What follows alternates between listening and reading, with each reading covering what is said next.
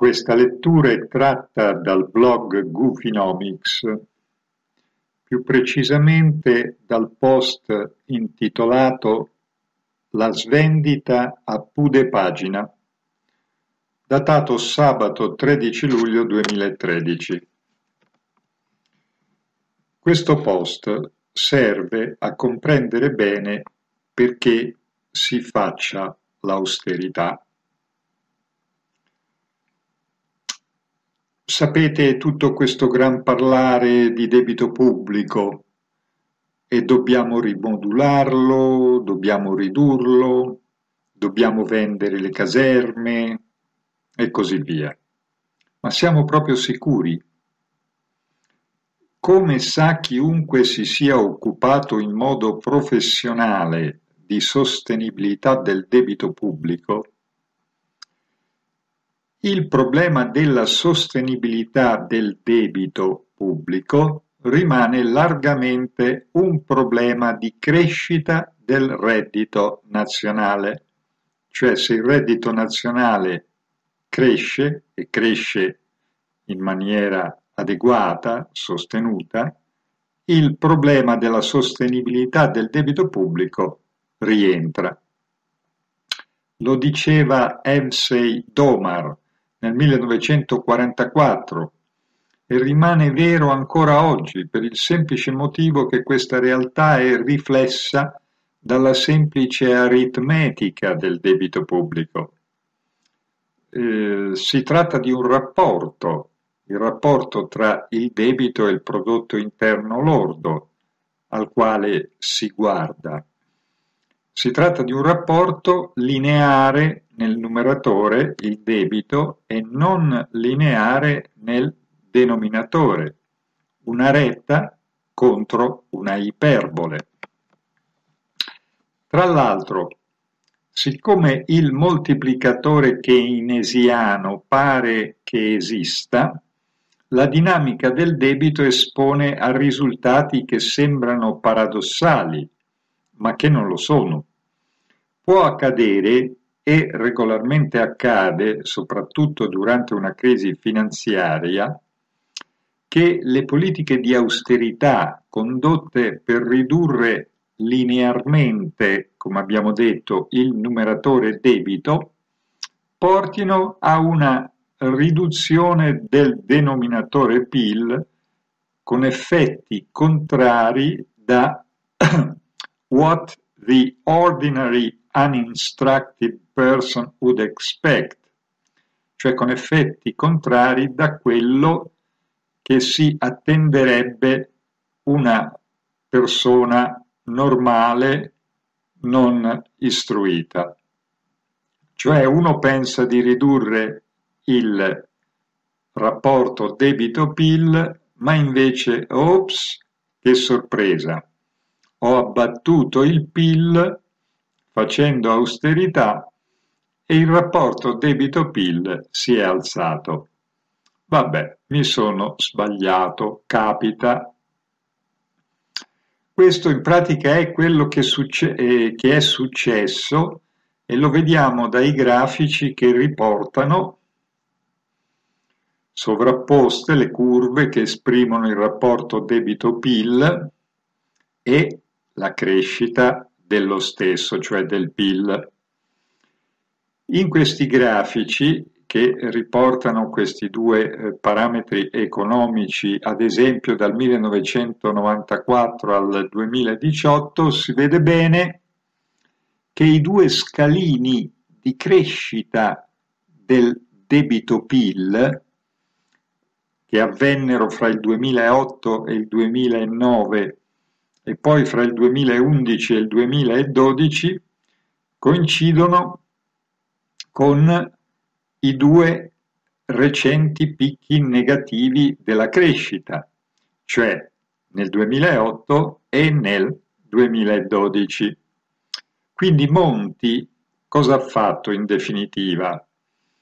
Con la sua austerità ci ha riportato sopra il massimo storico del rapporto debito-PIL che avevamo raggiunto nel 1994 al 121% del PIL. Facendo austerità e cercando quindi di diminuire il debito attraverso la, de, eh, la diminuzione del deficit, ha prodotto una eh, caduta eh, del PIL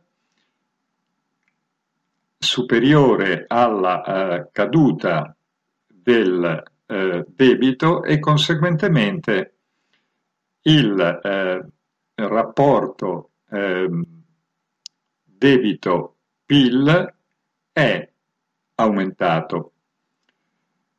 Colpa quindi mh, mm, di queste politiche di austerità con cui Monti ci ha riportato per quanto riguarda il eh, parametro debito-PIL ad un rapporto del 127%. E allora questo incremento del rapporto debito-PIL è dovuto in definitiva ad una recessione eh, del tutto inutile se vista nella logica dell'interesse nazionale.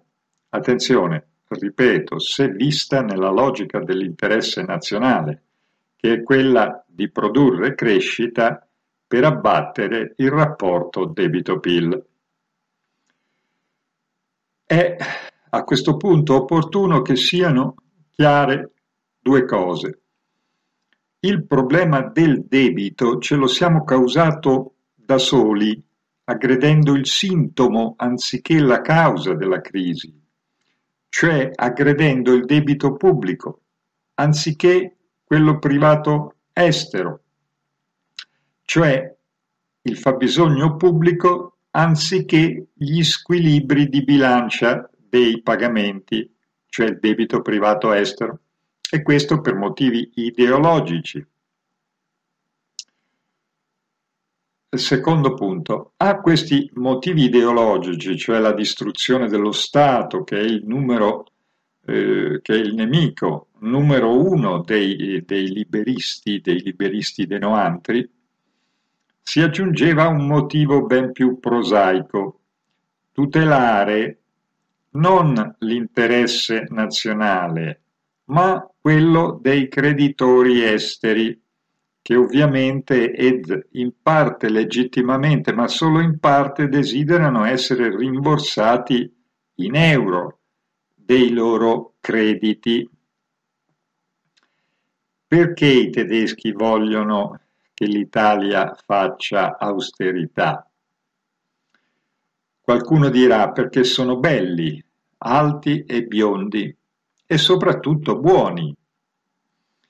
In greco l'insieme di queste due qualità si dice kalokrathia. Questa espressione indica nella cultura greca del V secolo a.C. l'ideale di perfezione fisica e morale dell'uomo. Mm, ma cerchiamo di capire se è così se effettivamente eh, i tedeschi vogliono che l'Italia faccia austerità perché sono belli e soprattutto buoni. E allora cominciamo col dire che il, per l'Italia l'euro è una valuta estera, visto che non ne controlla l'emissione, come ci ricorda De Graue. Ora, da che mondo è mondo una valuta estera, da dove ce la si procura? Semplice, dall'estero, cercando di andare in surplus di bilancia dei pagamenti, cioè di ottenere più pagamenti dall'estero di quanti pagamenti si facciano all'estero. E come si ottiene un surplus di bilancia dei pagamenti? Semplice, o importando di meno o esportando di più o entrambe le cose. E come si ottengono questi due risultati? Beh, per importare di meno basta tagliare i redditi e allora i cittadini comprano di meno e in un paese la, dove la grande distribuzione è in mano straniera e si va a grandi vele verso la perdita dell'autosufficienza alimentare e la deindustrializzazione, è chiaro che acquistare di meno significa acquistare di meno all'estero. Voi direte, ma all'estero questo fa davvero comodo?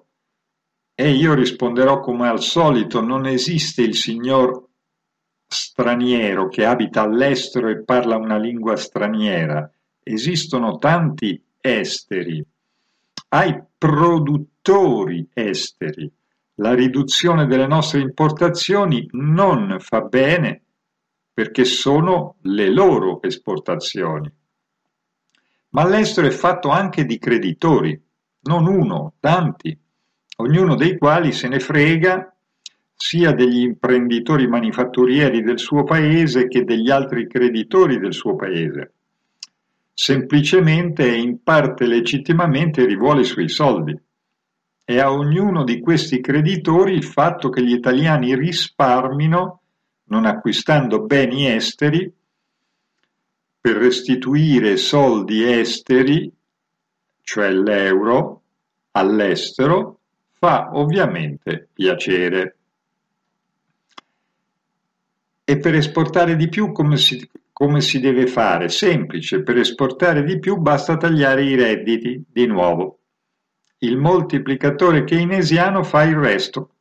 Cresce la disoccupazione, i lavoratori allo stremo accettano retribuzioni inferiori, i produttori nostrani possono abbassare i prezzi e se non vengono spazzati via dal calo della domanda interna, perché i loro lavoratori pagati di meno non possono comprare né all'estero né tantomeno all'interno, allora se non vengono spazzati via dal calo della domanda interna, i produttori nostrani forse dopo un po' ricominciano a vendere all'estero. All'interno ovviamente no, perché il paese nel frattempo si è impoverito. E allora scopriamo che uno stesso strumento, l'austerità, consente così di ottenere due obiettivi, che quindi sono complementari, il calo delle importazioni e poi l'aumento, forse, delle esportazioni. Insomma, l'austerità serve a correggere il saldo estero e più o meno ce la fa, ci riesce non quello pubblico al quale si sa benissimo che farà enormi danni per i noti motivi, come abbiamo detto sopra, in termini di rapporto debito-PIL. Se tagli la spesa pubblica, cioè il reddito privato, per migliorare il saldo pubblico, poi succede che il settore privato paga meno imposte e quindi i benefici iniziali sono attenuati o annullati. E allora nel 2012 che è successo? Mm, dopo la cura Monti siamo praticamente rientrati dal nostro indebitamento netto con l'estero. Il saldo estero è migliorato di quasi tre punti di PIL, mentre il saldo pubblico è migliorato solo marginalmente perché dopo il risparmio, dopo l'austerità, gli italiani hanno versato meno tasse.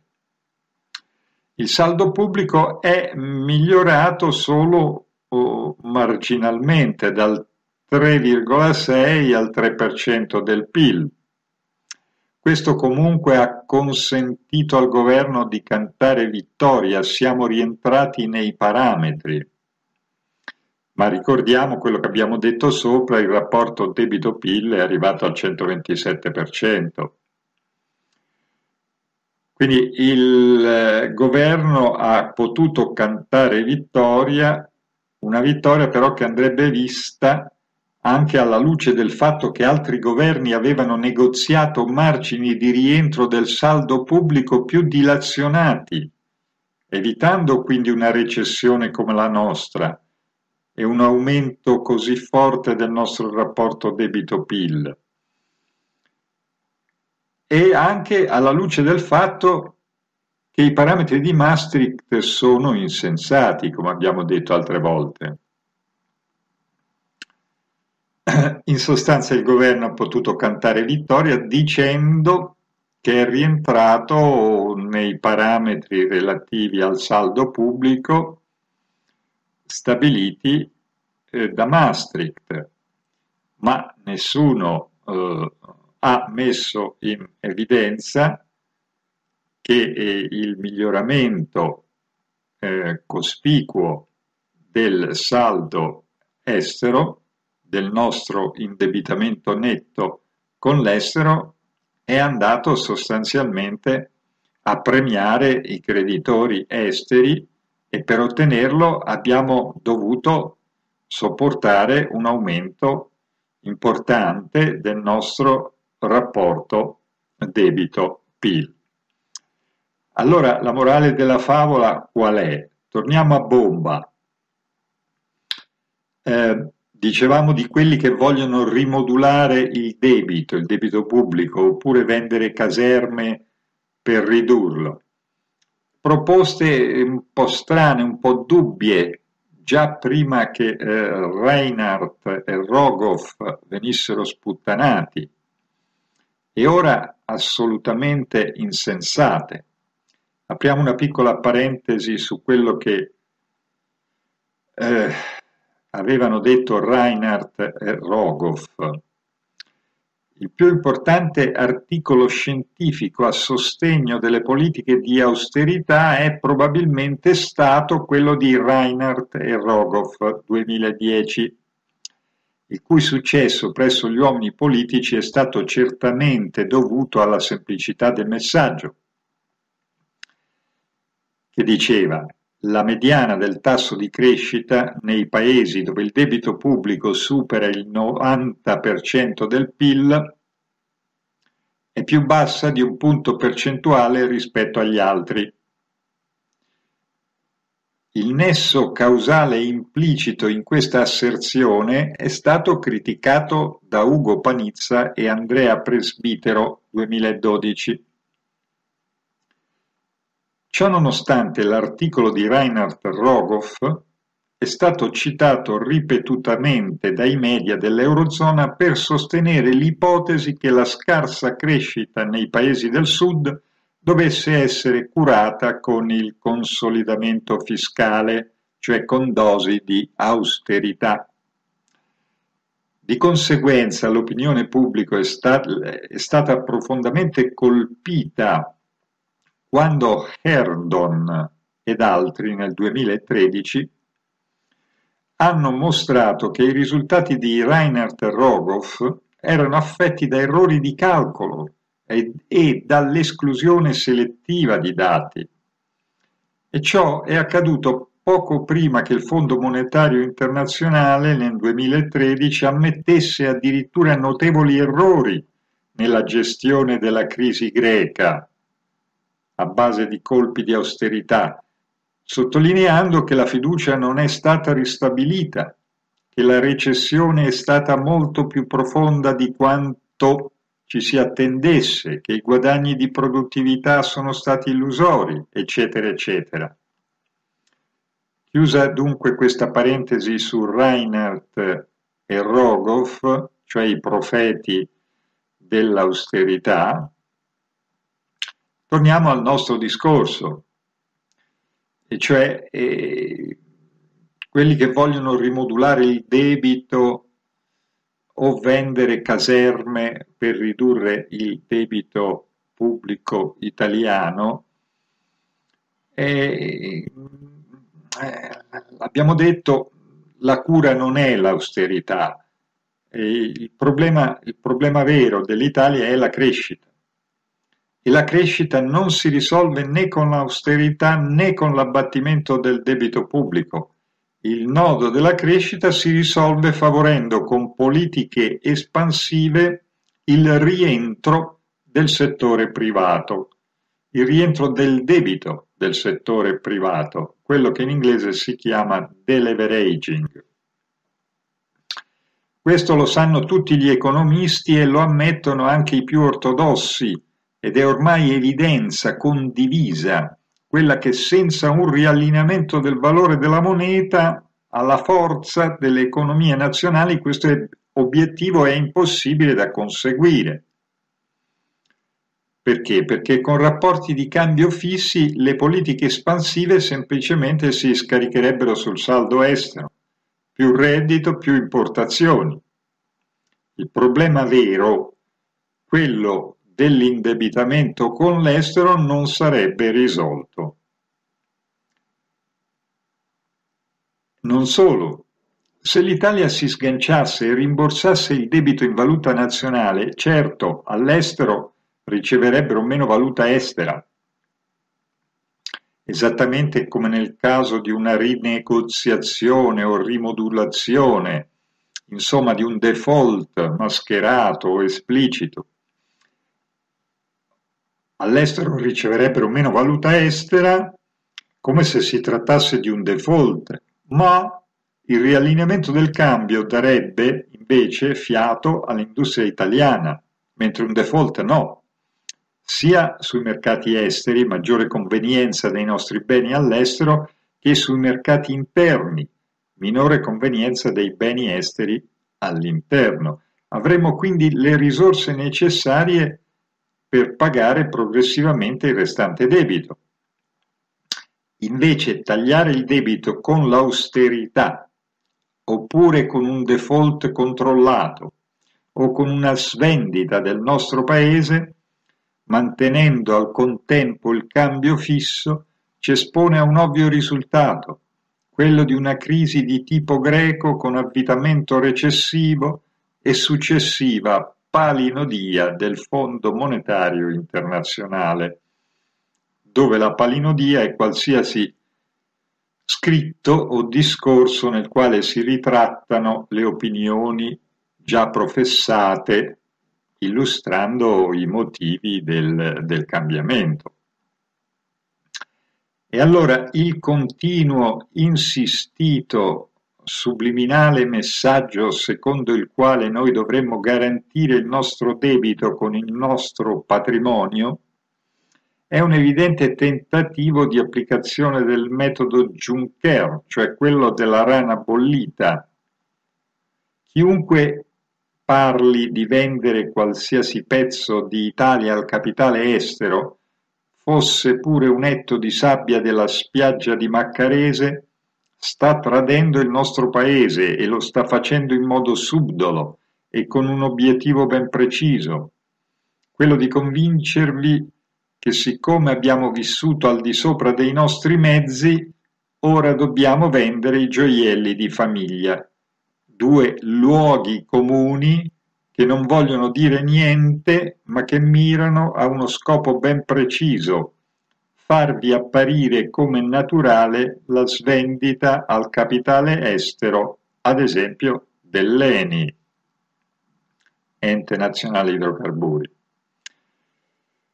Perché e non solo il debito pubblico non è la causa, ma il sintomo, è un sintomo nemmeno troppo preoccupante, ma la privatizzazione tramite svendita di asset pubblici non ha mai in alcun paese, in nessuna circostanza, curato questo sintomo.